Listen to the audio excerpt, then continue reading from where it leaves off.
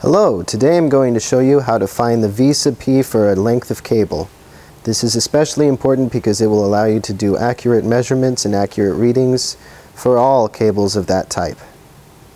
This is a sample of a cable that we want to measure.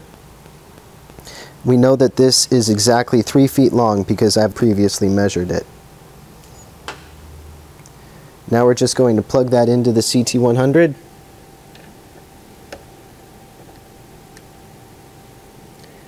and I'll give you a close-up view on this screen. So now that the cable is plugged in, you can see the live trace displayed on the screen. Now what we're going to want to need to do is find the end of the cable using one of the cursors.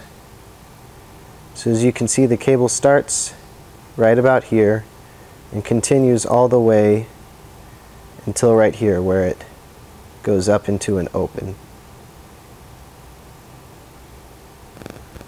So we're going to zoom in using the scale position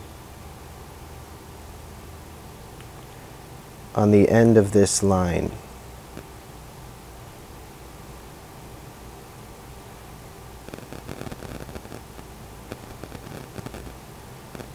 Now we're going to need to find exactly where this cable ends.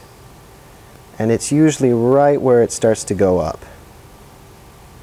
So we'll say right about here is where the cable ends.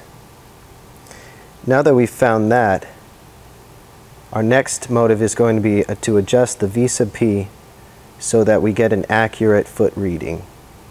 Our expected V sub P is around 0.7, which is what usually this cable type has. So if we get close to our expected V sub P, then we're going to be in good shape.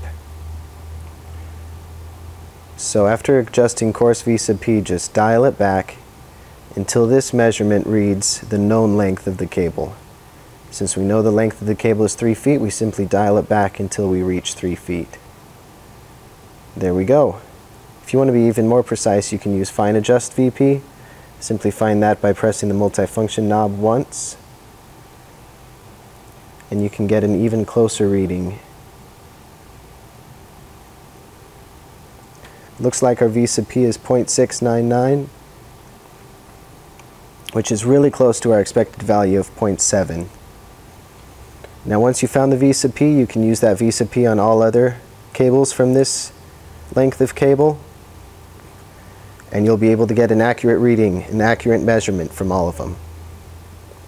Be sure to do this every time you get a new batch of cables. Do it for each one so that you can make sure that you're accurate. And later in a later video, I'll show you how to save these profiles so you can use them over and over without having to measure twice. I'll see you in another video. Thanks for watching.